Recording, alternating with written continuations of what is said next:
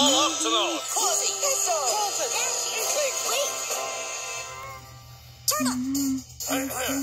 Kwazii, activate creature report. Creature report. Creature report. Creature report. Coconut crabs can't swim. They live near water but don't go in. They're the biggest crabs the land you'll see. And they can climb a coconut tree. They grab a coconut to crack and use their giant claws to open up a snack. Go coconut, go coconut, go coconut.